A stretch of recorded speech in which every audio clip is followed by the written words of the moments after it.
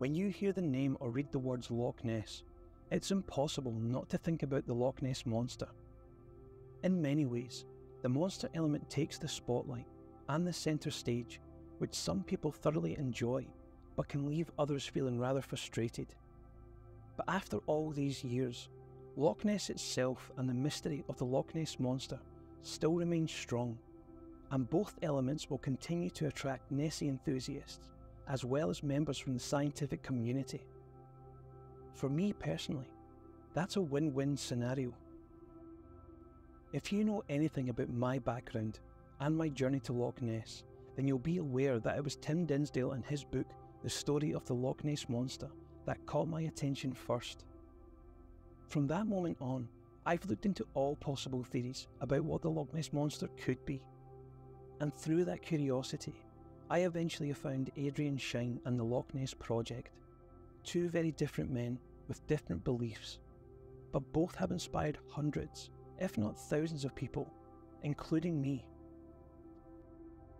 As new theories emerged over the years, they not only shed light on the possibility of an unknown creature living in the loch, but it also opens up new avenues for understanding the history and the ecology of Loch Ness. Regardless of what we believe, I feel at times that we actually owe the Loch Ness Monster a special thanks, because without it, we wouldn't have this incredible catalogue of knowledge provided by those who have came before us. I love exploring all the possible explanations, despite the outcome, and observing the Nessie community working together gives me a real sense of belonging. We've all read about the natural environment and how it can contribute towards many sightings recorded by an eyewitness. But to actually see that explanation with your own eyes certainly provides perspective. A few months ago, we set out to capture one of these explanations while patrolling the shoreline around the loch and went on deep scan with Ali Matheson. We were on the hunt for a standing wave. As always, we sent out the invitations for anyone to join us, and I was delighted to hear that LNE member and friend Jared Christie was going to be joining me for the day. And here's the legend himself. Now, I've known Jared for several years now following a chance meeting at a local shop in Drumnadrochit, and it's safe to say that we instantly got on with one another. He's a great guy. But today, Jared was a man on a mission and determined to capture that standing wave. And he demonstrated that enthusiasm by visiting several observation points throughout the day. We respectfully asked Nessie to take the day off so that we could focus on boat traffic and their wakes as they travelled up and down the loch's surface. It's no secret that my favourite piece of potential evidence comes from a video that was recorded from Urquhart Castle back in 1992. The Nessie community still remains split on the conclusion, and I can understand why. But Jared and I were hoping to capture something similar, which is far easier said than done, as the conditions would need to be spot on. But what is a standing wave, and how are they created? A standing wave occurs when two boat wakes of the exact same frequency and amplitude are moving in the opposite direction on the surface of the loch when the two boat wakes finally meet and interfere with one another. The results have the potential to create a standing wave. Now I'll stress that point one more time. The boat wakes need to be identical. So with that in mind, there's now a lot more to consider here, such as the boat itself, its size, the direction of travel and its current speed. A small boat with a smaller engine will most definitely produce a wake different from a much larger boat. It is a complex procedure, especially in open water, but it can happen. If we take a closer look at the footage from 1992, we'll discover some details that may challenge the standing wave explanation. You can very clearly see a dark object moving on the surface of the loch. The movement itself is unusual and at times it does appear to submerge briefly, only to reappear again. If we freeze the video and turn our attention to the top and the bottom of this image, we can easily highlight the classic Kelvin wake, which is heading in the direction of Fort Augustus. The wake at the top is also easy to highlight, but it's unclear at this moment in time in which direction it's travelling. By highlighting and covering these two prominent boat wakes, we can now focus on the area around the object.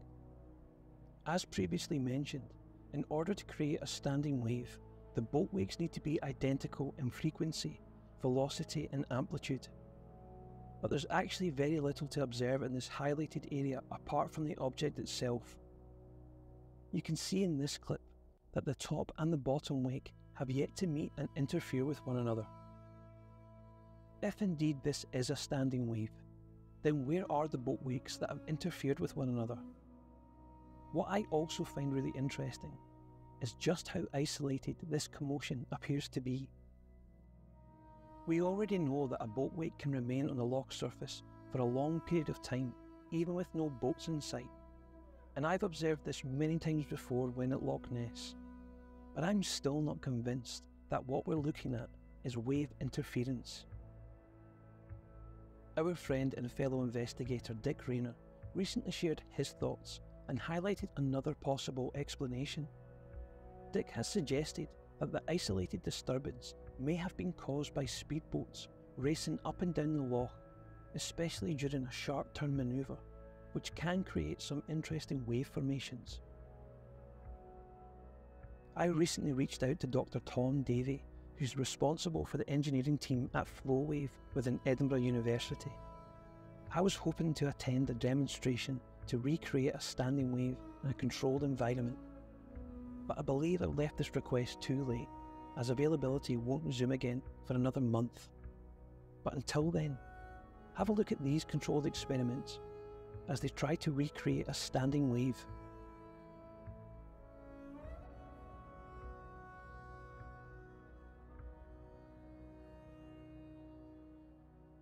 Having an open mind should be statutory practice when exploring and investigating Loch Ness.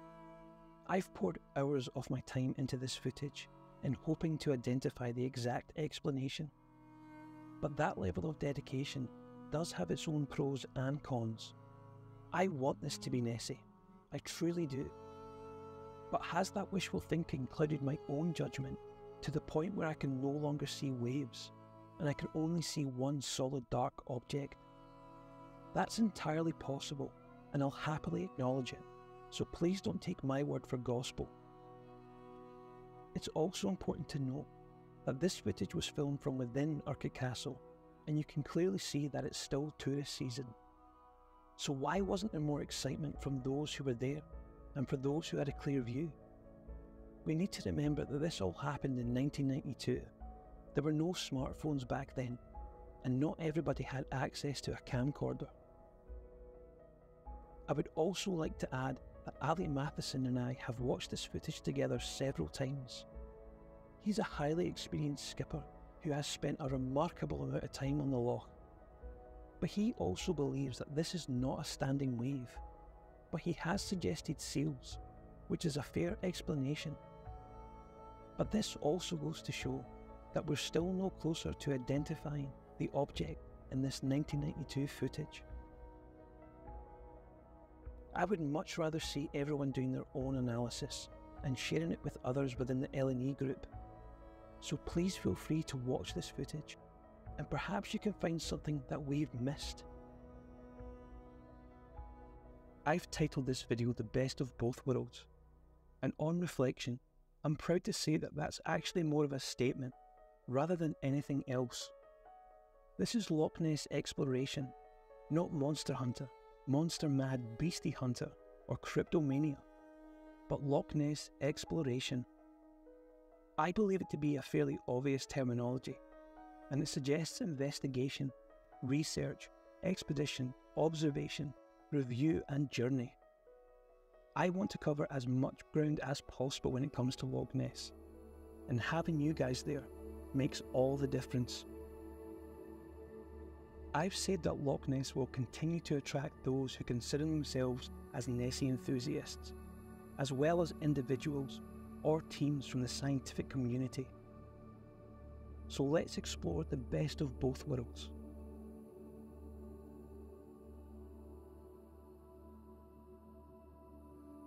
On the 13th of June, I hit the road nice and early heading north to Loch Ness. As tradition, I would normally listen to a podcast based on Nessie, but on this particular journey, my mind was filled with questions, scenarios, and possibilities, all within good reason.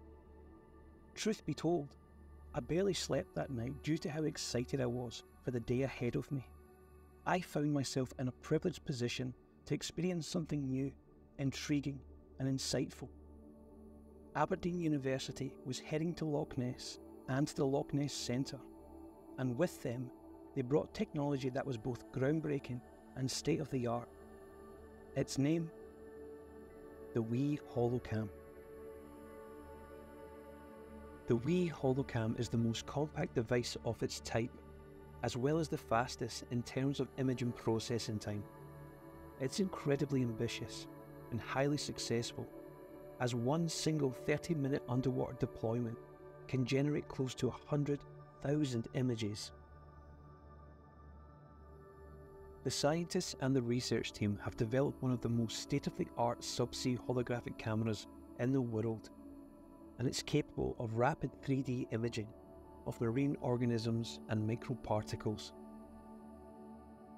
The Wee Holocam is a huge step in the right direction, as the normal process of monitoring plankton species requires significant work in terms of capturing the organisms, identifying and photographing each and individual species. It can be a long and challenging process, but now that the wee Holocam is here, you could say that is a game changer for present and future studies of microparticles. It's already being deployed at sea and saltwater lochs around Scotland, such as Loch Ewe and Loch Etive, to monitor microscopic organisms within the water column. But this is the first time that the Wee Holocam is being deployed in a freshwater loch, such as Loch Ness, we spent four hours on deep scan that afternoon, deploying the Wee Holocam at certain locations around Loch Ness and at different depths. The deepest depth we reached was beyond 188 metres. By using this camera, each hologram can be considered as a stack of thousands of 2D images. And the team have developed an algorithm that rapidly reconstructs these 2D images, identifying the particles, extracting them, to create a 3D version. It was an absolute privilege to take part in this research, and being able to explore some of the results in real time was absolutely fascinating. If I'm being completely honest with everyone, I was anxious when Continuum arrived at Loch Ness, as I was worried that the scientific studies and the research would be pushed to the back of the queue. So, as you can imagine, I was over the moon with joy when I found out that the Loch Ness Centre was reaching out to the universities, both at home and abroad. Those who are deeply invested in the Loch Ness story would often tell the Loch Ness Centre that carrying this legacy is a huge responsibility and it comes with immense pressure to deliver valuable insight. I'm absolutely delighted that the Loch Ness Centre has kept to their word and will continue to pursue the scientific community and those involved in education. So there you have it, the best of both worlds, where Nessie, micro monsters, and science can happily coexist with one another. We'll see you at the next one when we visit Loch Ness.